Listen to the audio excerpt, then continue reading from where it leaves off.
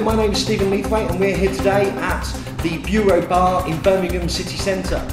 We're here today to actually show you my new effect, my latest effect, Psyborg.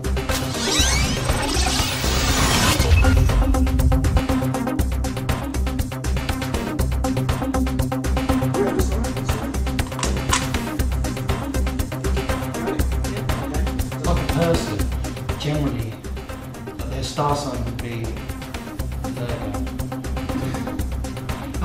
Is that right? sure.